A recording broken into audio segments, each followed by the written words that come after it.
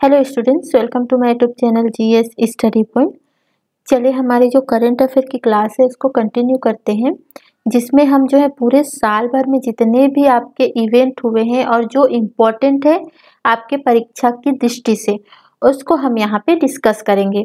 देखिए, इसमें मैंने जो है बहुत शॉर्ट में जो है ये नोट्स को तैयार किया हुआ है और इन शॉर्ट नोट्स में ही जो है आपके वो सारे इवेंट कवर हो जाएँगे जो आपके एग्ज़ाम में पूछे जा सकते हैं। तो चीज़ों को ध्यान से समझते चलिएगा, याद करते चलिएगा ताकि जो क्वेश्चन आपके करंट से आते हैं, वो जो है आप उन क्वेश्चंस को कर पाएँगे क्लियर है और इससे पहले भी जो है वीडियो अपलोड कर दिए गए हैं करेंट अफेयर पे तो अगर आपने उन वीडियो को नहीं देखा है तो आप चैनल के प्लेलिस्ट पे जाइएगा और वहाँ पे जो है आपको करेंट अफेयर 2020 करके एक प्लेलिस्ट मिलेगा, जहाँ से आप जो है इससे पहले के सारे वीडियो को देख सकते हैं। तो चलिए देखते हैं और सबसे पहले हम देखते हैं कि यहाँ पे जो आप देख रहे हैं, पहला पॉइंट कि भारतीय नौसेना का सबसे बड़ा सौर ऊर्जा संयंत्र जो है, कहाँ स्थापित किया गया है? ठीक है? पूछा जा सकता है कि भारतीय नौसेना का सबसे बड़ा सौर ऊर्जा संयंत्र जो है, कहाँ स्थापित किया गया है?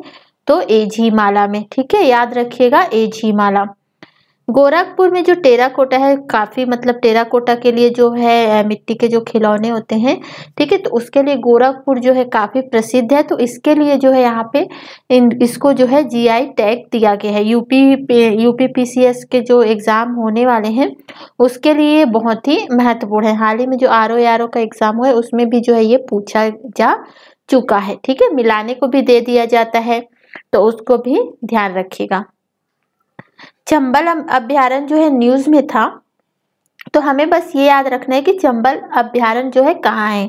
तो मेनली जो है ये तीन राज्यों में फैला हुआ है, मध्य प्रदेश में, उत्तर प्रदेश में और राजस्थान में, ठीक है? तो ये तीन राज्यों में जो है ये अभ्यारण जो है फैले हुए हैं।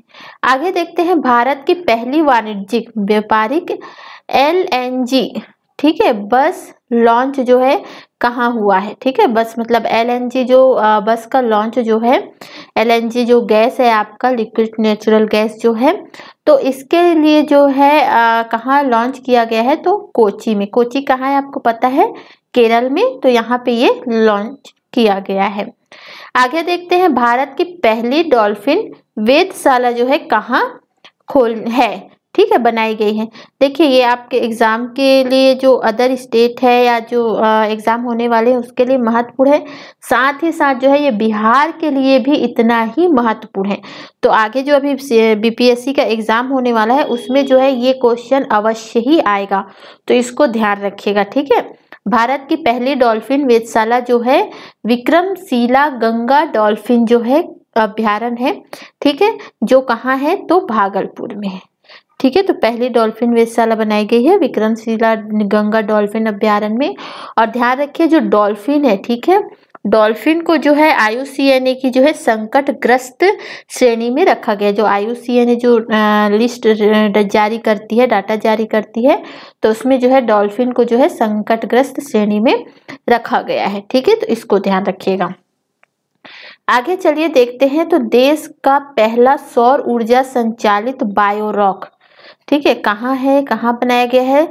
तो सौर ऊर्जा संचालित बायोरॉक जो है आपके गुजरात में जो आप कक्ष की खाड़ी है, ठीक है लोकेशन आपको याद रखना है, गुजरात में जो कक्ष की खाड़ी है, वहाँ पे जो है ये सौर संचालित बायोरॉक जो है बनाया गया है और किसके द्वारा बनाया गया है? तो जेड एस आई के द्वारा, ठीक है जूलॉजिकल सर्वे ऑफ़ इंडिया के द्वारा जो है ये संचालित किया जा रहा है। आगे याद रखिए, विश्व का सबसे ऊँचा रेल पुल जो है कहाँ, रेलवे पुल जो है कहाँ बनाया जा रहा है? तो मणिपुर में। और मणिपुर में कौन सी नदी पर है? तो आयरिंग नदी पर। या ये भी क्वेश्चन पूछ सकता है कि आयरिंग नदी कहाँ बहती है? तो मणिपुर में।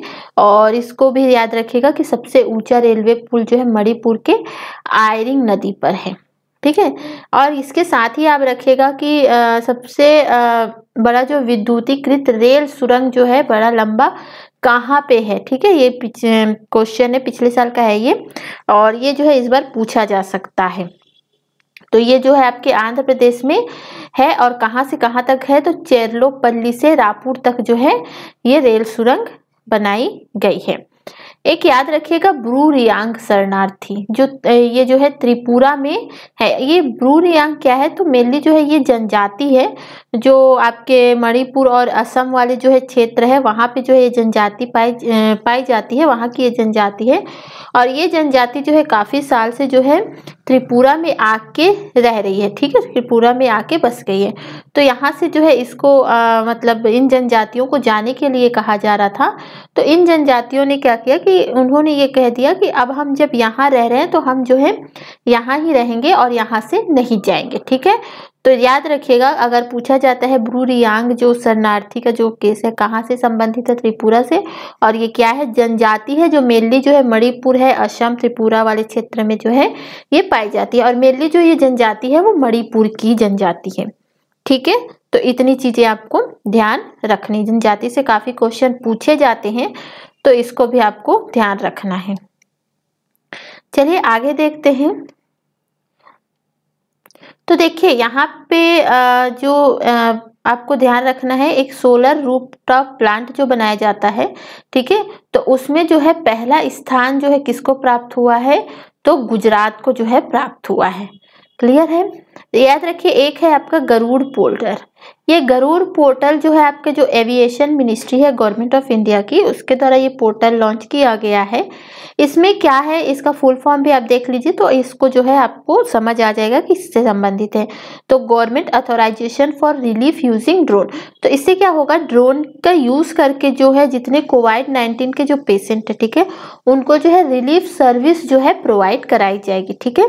तो ये एविएशन मिनिस्ट्री की जो गवर्नमेंट ऑफ़ इंडिया की है, उसके द्वारा जो है ये लॉन्च किया गया है, ठीक है? तो इसका जो है मेनली आपको इसका फुल फॉर्म याद रखना है और इससे जो है, इससे जो क्वेश्चन बनेंगे, वो आपसे हो जाएँगे। क्लियर है? यहाँ देखिए मध्य प्रदेश में जो है एशिया का सबसे बड़ा सोलर प्लांट जो है बनाया जा रहा है, ठीक है? जो एम के जो स्टूडेंट हैं, जो एम की तैयारी करें उसके लिए महत्वपूर्ण है। तो वहाँ पे जो है ये क्वेश्चन आगे अदर स्टेट में भी पूछा जाएगा, लेकिन मध्य प्रदेश में ये हंड्रेड एंड टेन परसेंट ये क्वेश्चन आएगा ही आएगा, ठीक है? तो ध्यान रखिएगा। एशिया का जो सबसे बड़ा सोलर प्लांट है Rewa ultra mega solar plant ये मध्य प्रदेश में जो रीवा है, वहाँ पे जो है ये बनाया जा रहा है और इसका कैपेसिटी याद रखिएगा 750 मेगावाट का है। यहाँ पे देखिए मैंने शॉर्ट में जो है जितने इंडेक्स है, ठीक है 2020 के जो जितने इम्पोर्टेंट इंडेक्स है, उनको यहाँ पे रखा है, लिखा है तो इसको हम देख लेते हैं। और मेनली जो है आपको याद रखना है कि पहले स्थान पे कौन है और जो भारत का स्थान है वो कौन है? और किसके द्वारा जारी किया जाता है, जिससे पूछा जाता है, उसका मैं आपको यहाँ पे बता देती हूँ, ठीक है? तो देखिए ग्लोबल पीस इंडेक्स है, जो, जिसमें जो है पहले नंबर पे है, जो है आपका आइसलैंड है, ठीक है? और यहाँ पे भारत का स्थान अगर पूछा जाता है पीस इंडेक्स में तो एक जो है भारत का स्थान है। ठीक है, मानव विकास सूचकांक जो है, इस पर मैंने एक अलग वीडियो भी बनाया हुआ है, उसको भी देख लीजिएगा। तो मानव विकास सूचकांक पर जो है जारी कौन करता है? जारी करता है, इससे पूछा जाता है यूएनडीपी ठीक है? और पहले स्थान पे जो है, यहाँ पे है नॉर्वे, और भारत का स्थान अगर पूछा जाता है तो भारत का स्थान जो है, एक स्थान है। आगे चलिए देख लेते हैं। तो आगे है आपका ग्लोबल जेंडर गेप रिपोर्ट, ठीक है? तो इसको जो है कौन लेके आता है रिपोर्ट को? डब्ल्यू ई एफ़, ठीक है? काफ़ी इंपॉर्टेंट है, ध्यान रखिएगा। और इसमें जो है पहले स्थान पे है आइसलैंड है और भारत का स्थान एक सौ है, ठीक है? 2020 के इंडेक्स में। तो इसको ध्यान रखिएगा। और यहाँ पे ये भी याद रखिएगा कि ये चार आयाम, जा, चार आधार पे जो है जारी किया जाता है। एक तो यहाँ पे देखा जाता है हेल्थ कैसा है, ठीक है? एजुकेशन देखा जाता है और हेल्थ हो गया एजुकेशन हो गया, साथ ही साथ जो इकोनॉमिक स्थिति है, वहाँ की आर्थिक स्थिति कैसी है और जो पॉलिटिकल एम्पावरमेंट जो है, इन चार आयाम पे निकाला जाता है, ठीक है? हेल्थ पे एजुकेशन पे, ठीक है? एजुकेशन पे निकाला जाता है और एक जो है इकोनॉमिक कंडीशन कैसी है? उस पे निकाला जाता है और जो पॉलिटिकल एम्पावरमेंट पे जो है, ये चार आयाम है, ठीक है? तो इसको आपको ध्यान रखना है। क्वेश्चन यहाँ पूछा गया था एक क्वेश्चन दिया गया था कि ग्लोबल जेंडर गैप रिपोर्ट को जो है किन आयाम, आयामों पे निकाला जाता है? तो उसमें ऑप्शन दिया था, एक में दिया था, आपका शिक्षा दिया था एजुकेशन दिया था और आपका हेल्थ दिया था और चौथे में जो है आपका आराम दे दिया था, ठीक है? तो जो आराम है वो यहाँ पे नहीं होगा। तो और भारत का स्थान भी याद रखिएगा, एक सौ बारवा जारी करता भी आपको याद रखना है डब्ल्यू ई एफ़ आगे देखते हैं वर्ल्ड कॉम्पिटिटिवनेस रैंकिंग रिपोर्ट 2020 देखते हैं। तो इसमें जो है पहले स्थान पे जो है आपके सिंगापुर है और भारत का स्थान अगर पूछा जाता है तो भारत का स्थान जो है फोर्टी थर्ड है। क्लियर है? अब यहाँ पे देखिए इन्वायरमेंट परफॉर्मेंस इंडेक्स में यहाँ पे देख लीजिए, काफ़ी इंपॉर्टेंट है। क्वेश्चन पूछा जाएगा यहाँ से। तो यहाँ पे देखिए, पहले नंबर पे जो है, इस पे डेनमार्क है और भारत का स्थान जो है, एक सौ है। ठीक है तो इसको आपको ध्यान रखना है। ग्लोबल एनर्जी ट्रांजिशन इंडेक्स जो है ध्यान रखिएगा तो पहले नंबर पे आपका स्वीडन है और भारत का स्थान सेवेंटी फोर्थ है। वर्ल्ड हैप्पीनेस इंडेक्स इम्पोर्टेंट है ये वाला, काफ़ी इम्पोर्टेंट है। क्वेश्चन पूछे भी गए हैं तो ध्यान रखिएगा फिनलैंड जो है यहाँ पे टॉप पे है और भारत का स्थान जो है 144 है। ठीक है? वैश्विक भूखमरी सूचकांक हंगर जो इंडेक्स है, उस पर जो है भारत का ही आपको याद रखना है। भारत का स्थान जो है एक सौ स्थान है। क्लियर है? वैश्विक बौद्धिक संपदा सूचकांक जो है यहाँ पे याद रखिएगा। पहले नंबर पे अमेरिका है और भारत का स्थान जो है चालीसवा है। हेनली पासपोर्ट इंडेक्स में याद रखिएगा कि पहले स्थान पे जो है जापान है और भारत का स्थान जो है एट्टी फोर है। क्लियर है? करप्शन पे ध्यान रखिएगा। करप्शन में जो है भारत का स्थान अस्सी है और डेनमार्क याद रखिएगा। डेनमार्क जो है पहले नंबर पे है। क्लियर है? चलिए अब यहाँ देख लेते हैं। आ, एक योजना याद रखिएगा। हिमालय गृहिणी सुविधा योजना किसकी है? तो हिमाचल प्रदेश की है। ठीक है? आगे याद रखिएगा। भारत की पहली ट्रांसजेंडर ऑपरेटर जो बनी है गुजरात की जोया खान। ठीक है, याद रखिएगा ट्रांजेशन ऑपरेटर ट्रांसजेंडर जो है ऑपरेश ऑपरेटर बनी हुई है ये। और ये कहाँ जॉब करती है? तो कॉमन सर्विस सेंटर में। क्लियर है इतना? आगे चलिए देखते हैं। लोथल में एक पुर्तगाल और भारत ने मिलकर जो है, राष्ट्रीय नौवहन धरोहर संग्रहालय बनाया है। ठीक है तो इसको आपको ध्यान रखना है। और ये कहाँ है? लोथल में है। चलिए आगे देखते हैं। और आगे बढ़ने से पहले आप सभी से रिक्वेस्ट करूँगी कि अगर आप चैनल पे नए हैं तो चैनल को सब्सक्राइब ज़रूर कीजिएगा। और अगर वीडियो पसंद आता है कंटेंट पसंद आ रहे हैं तो वीडियो को लाइक ज़रूर कीजिएगा, जिससे जो है मुझे मोटिवेशन मिलता रहता है कि मैं आपके लिए अच्छे से अच्छे कंटेंट और वीडियो लेकर आऊँ। और साथ ही साथ जिनको जिन स्टूडेंट्स को इनकी ज़रूरत है, उन तक भी जो है इसको पहुँचाने का प्रयास कीजिएगा। ठीक है? आगे देखते हैं। ये तो हमने देख लिया था, कल भी देख लिया था वर्चुअल वैक वैश्विक वैक्सीन शिखर सम्मेलन 2020 जो है, कहाँ हुआ है? ब्रिटेन में यहाँ पे एक चीज़ याद रखिएगा, गावी। ठीक है? पूछा जाए गावी क्या है? तो ये जो है, ग्लोबल वैक्सीन गठबंधन है। ठीक है? तो इसको ध्यान रखिएगा, वैश्विक वैक्सीन गठबंधन है। ठीक है? चलिए आगे देख लेते हैं। हागिया सोफिया संग्रहालय, बहुत इंपॉर्टेंट है, ध्यान रखिएगा। टर्की के इंस्ताबुल में है। एक्चुअली इस संग्रहालय को जो है, अभी हाल ही में जो है, मस्जिद में जो है, बदला गया है। ठीक है? तो ध्यान रखिएगा, हागिया सोफिया संग्रहालय। तूफ़ान रोधी देश जो है, किसको बनाया गया है? तो डोमनिका को जो है, घोषित किया गया है। वाल्मीदिर पुतिन, देखिए रूस के अभी राष्ट्रपति जो हैं वाल्मीदिर पुतिन, अभी इसका जो है कार्यकाल फिक्स कर दिया गया है और ये जो है 2036 तक जो है ये रूस के राष्ट्रपति बने रहेंगे।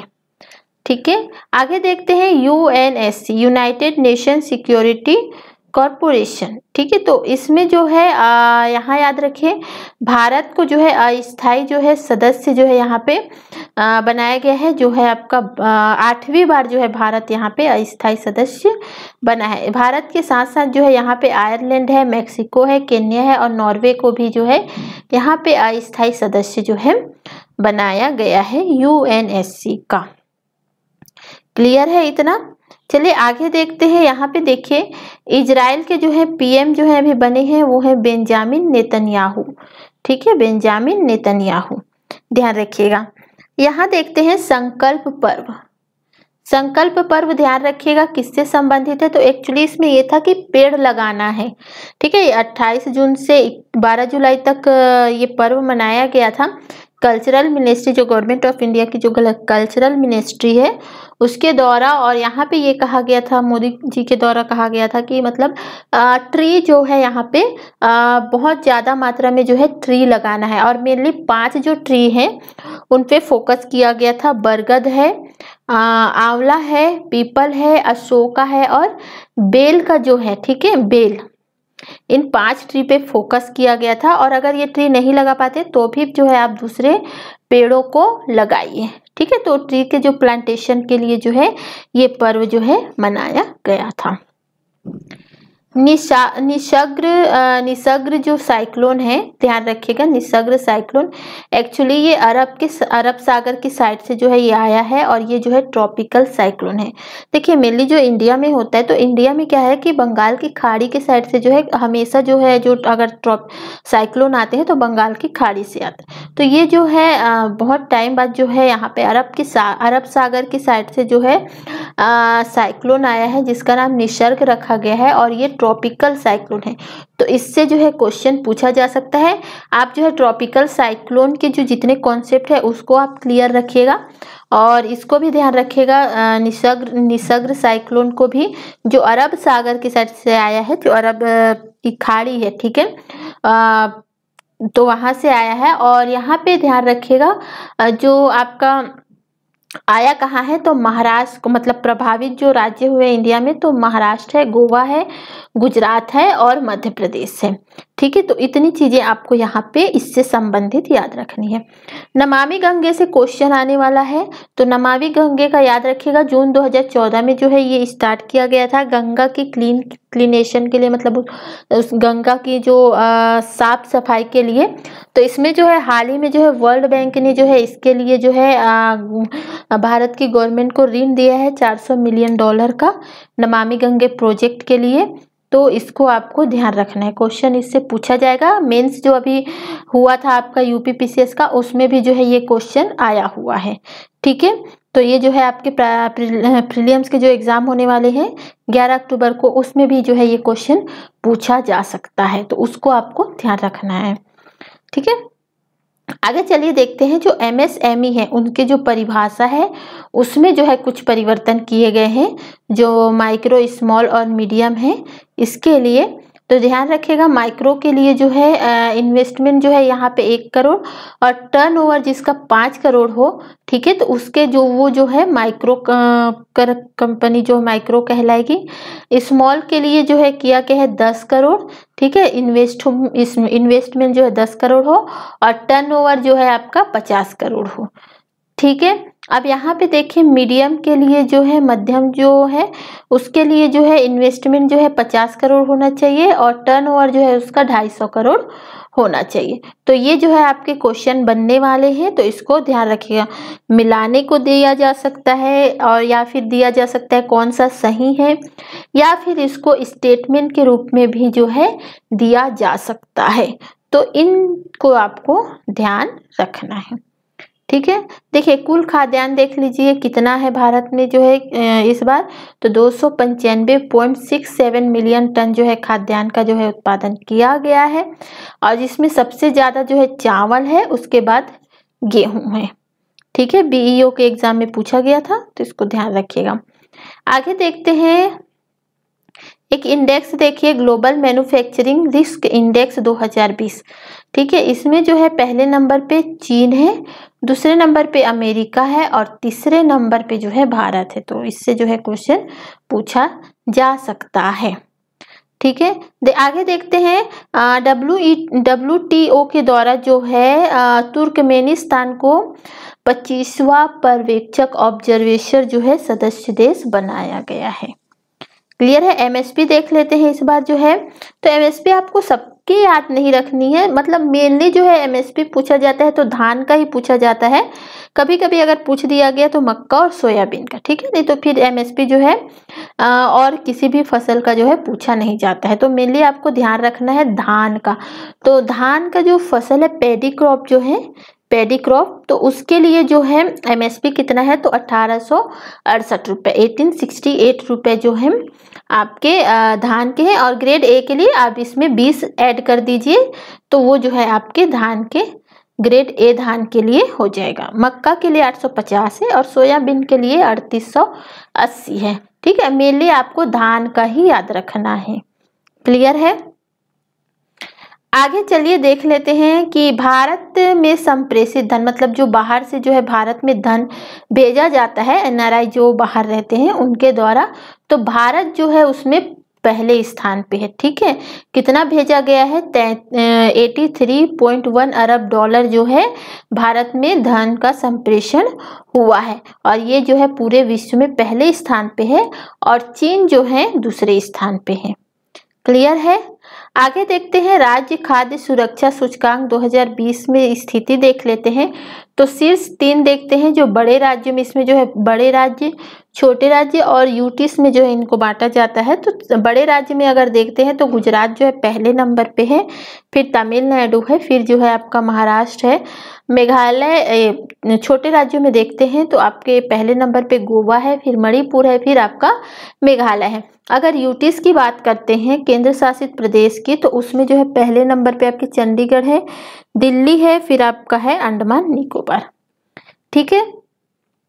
यहाँ पे राजस्व घाटा याद रखिएगा, इस बार जो है बजट आया है जिसमें राजस्व घाटा बताया, अनुमानित है कि 2.3 परसेंट जो है अनुमानित है। ठीक है? आगे राजकोषीय घाटा देख लीजिएगा 3.8 परसेंट जो है, पिछली बार ये 3.5 परसेंट था। ठीक है?